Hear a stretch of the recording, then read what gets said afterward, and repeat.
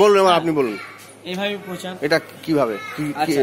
হ্যাঁ, এটা EVM machine হ্যাঁ, এটা হচ্ছে ইভিএম মেশিন আগে আপনারা আগে ভোট দিয়েছেন কিন্তু আগে এই ভিভিপ্যাটটা দেখতে পেতেন না। আচ্ছা। এবার নির্বাচনে লোকসভা নির্বাচনের ভিভিপ্যাটের নতুন সংযোজন। হ্যাঁ মানুষ যাকে ভোট দেবে যে তার নিজস্ব পছন্দসই প্রার্থীকে হ্যাঁ। সে তার ভোটটা এই ভিভিপ্যাটের মাধ্যমে দেখতে পাবে। আচ্ছা। এটাই হচ্ছে গিয়ে নির্বাচন কমিশনের মূল উদ্দেশ্য। আর এর প্রিন্ট আউটও বেরোচ্ছে। হ্যাঁ এর প্রিন্ট আউটে বেরোচ্ছে। এক মিনিট, হ্যাঁ, হ্যাঁ।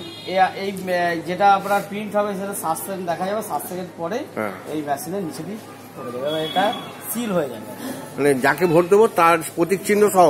তার করে হ্যাঁ। ভোট হয়নি? ভোট দাও ভোট দাও। আসি এসো। কি আছে? এসো না। ভোট না হলো দাও না। ভয়ের কি আছে? তুমি তোমার বাড়ির লোককে জানা- জানাতে পারবে। এসো এসো দিয়ে যাও দাও। একটা বোতাম টেপো। দাও এদিকে দাও। এদিকে এসো।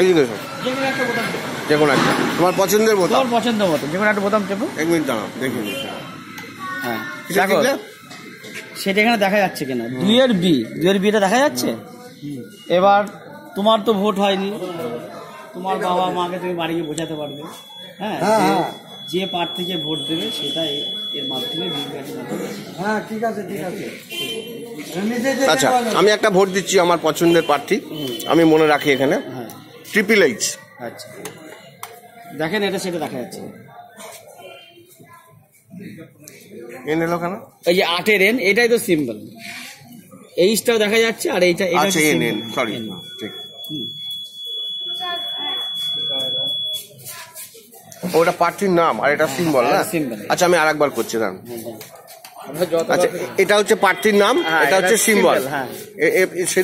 সেম সেম জিনিস। হ্যাঁ, হ্যাঁ। আমি একটা প্রার্থীকে ভোট দিচ্ছি এটা ট্রিপল কে হ্যাঁ ট্রিপল কে তে আমি বোতাম দাবালাম চিহ্ন হচ্ছে কে?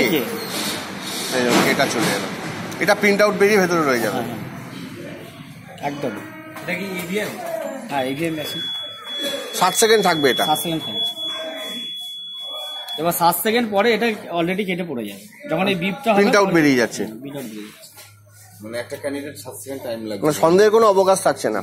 আপনি যাকে ভোট দিচ্ছেন সেখানেই ভোটটা যাচ্ছে। ধন্যবাদ।